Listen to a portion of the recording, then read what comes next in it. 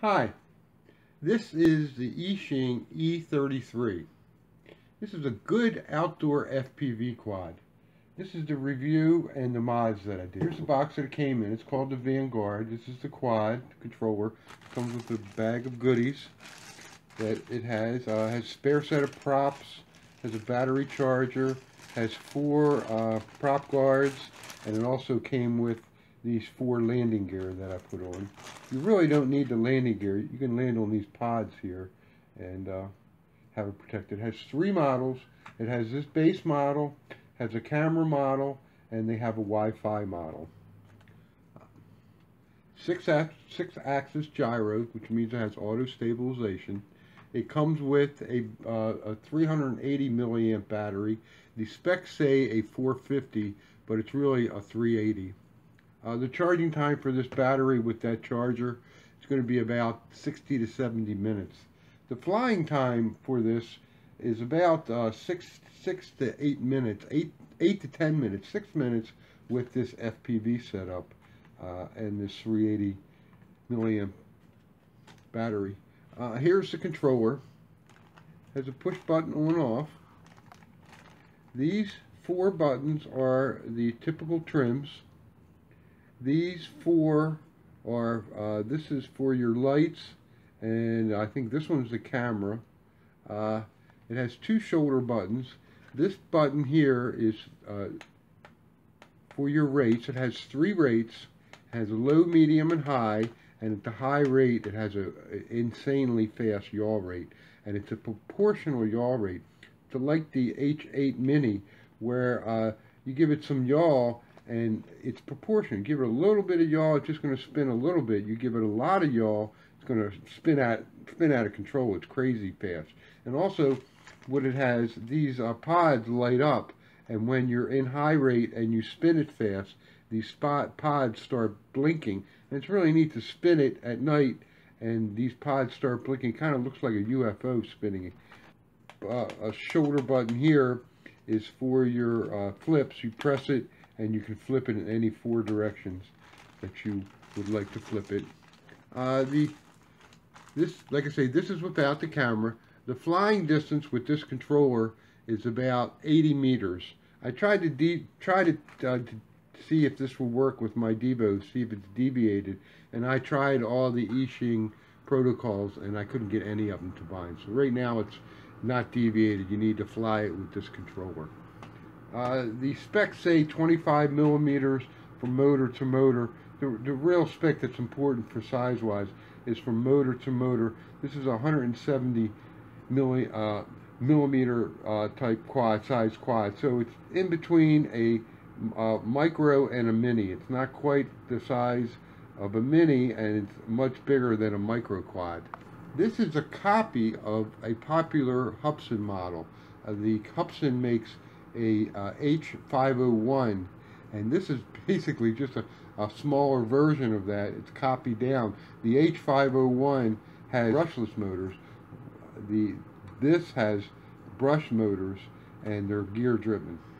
It's a nice little flyer though. It has real aggressive props on it and the yaw rate and the high rate is crazy. Uh, the transmitter is Mode 2. It has a nice feature which I, I wish the other Eachine models before this had. It has what they call, their English isn't that great, they call it a stuck protection.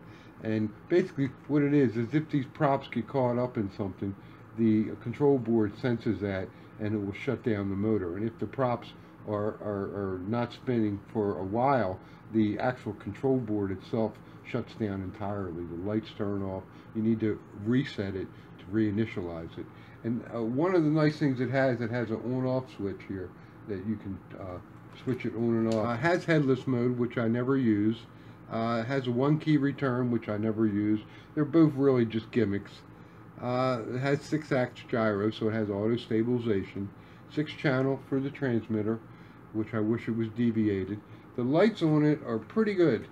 It's a pretty good night flyer. You can see it has these pods, and these pods light up very well at night. You can see them very well. And plus, with uh, the high rate and the crazy yaw that it has, and the lights flashing, it gives it a good special effect there. Uh, let's go and do some flight of this, and I'll show you that crazy yaw that it has. This is the outdoor review of the Eachine E33. I'm on my quad. Flat level surface. Power on the transmitter. It's all bound and ready to go. Let me adjust my hat cam.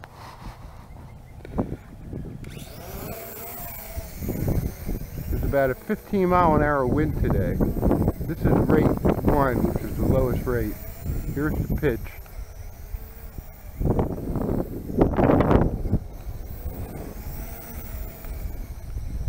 Here's the yaw.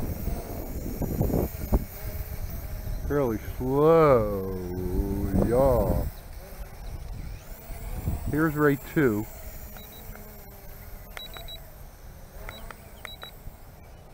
Bring it down. Here's the pitch in rate 2. Pretty good pitch. Bring it a little closer.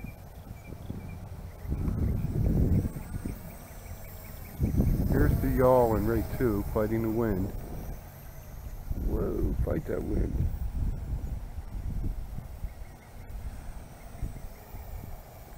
Here's uh, rate 3. Bring a little closer.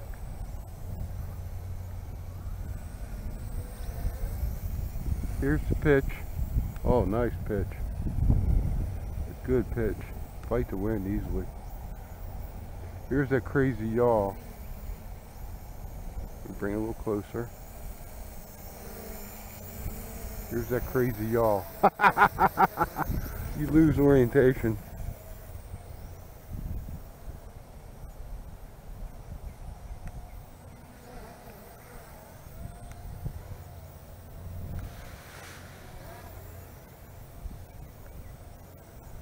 Yep, saved it. So it's flying all this with the TX02 and a uh, 150 milliamp battery on it.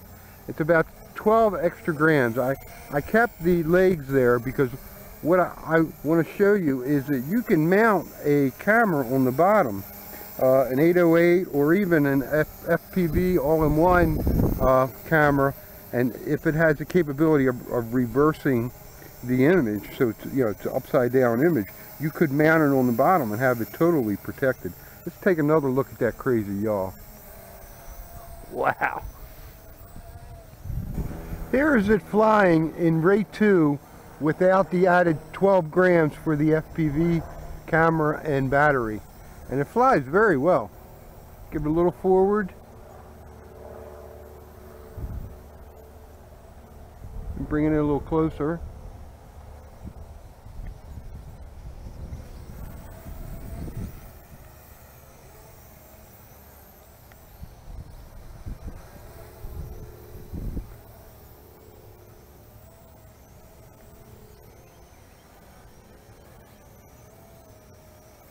Fighting that wind with no problem. What I want to do is show you uh, some night footage, show you how those pods light up. It's a very good night flyer.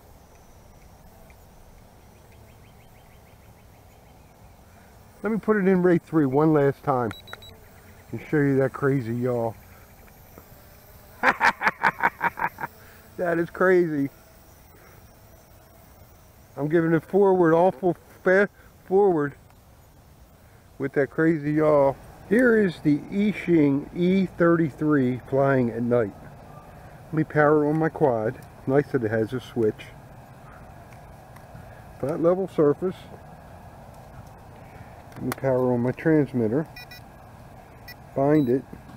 Go directly to rate 2. And away we go. Let me adjust my hat cam. Keep it in frame excellent night flyer. Look at those lights. Those lights are excellent. Here's the yaw at rate 2. Nice slow yaw. You can fly it very good in rate 2.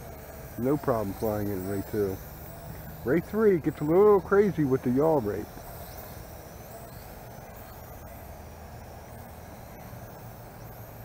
Let's bring it in close and I'll switch it to rate 3. We'll see what that yaw rate looks like at night. It also blinks, blinks the lights uh, when you do the fast yaw. Let's do the yaw. There it goes. Wow. Super fast. Let's bring it in a little closer.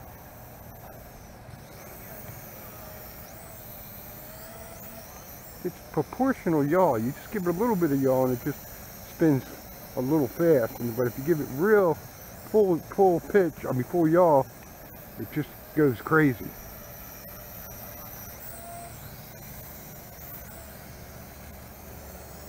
Let's go and look at the mods and the final score for this guy. One last thing that I want to show you is that I'm in rate 3. I, I want to show you you can fly this thing in rate 3. Even though uh, it has that fast yaw, you can fly. You just give it a little bit of yaw. You don't have to uh, give it full yaw to do that crazy yaw.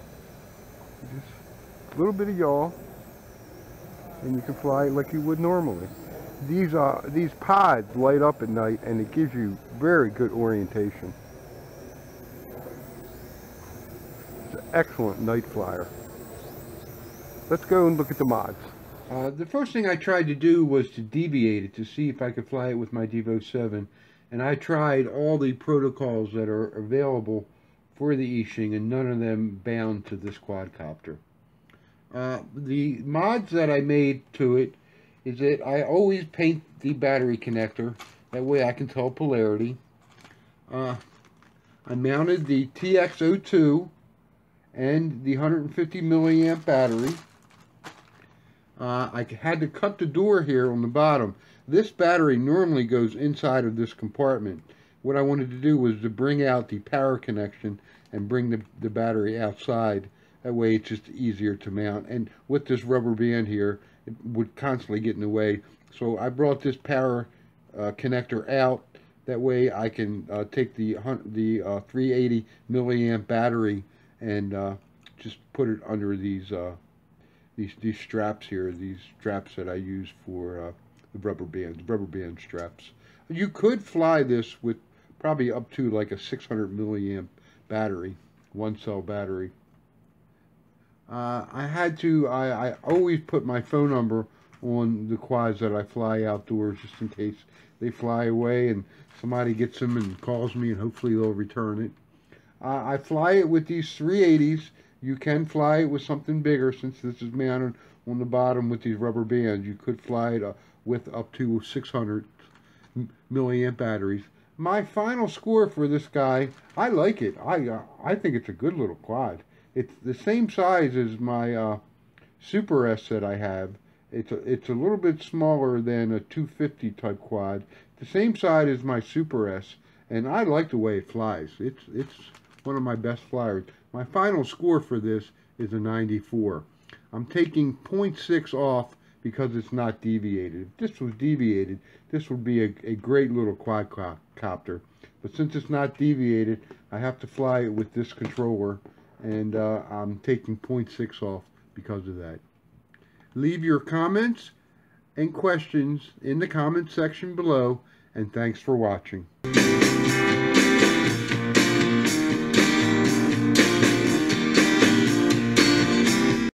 Please click on the like button comment, and subscribe.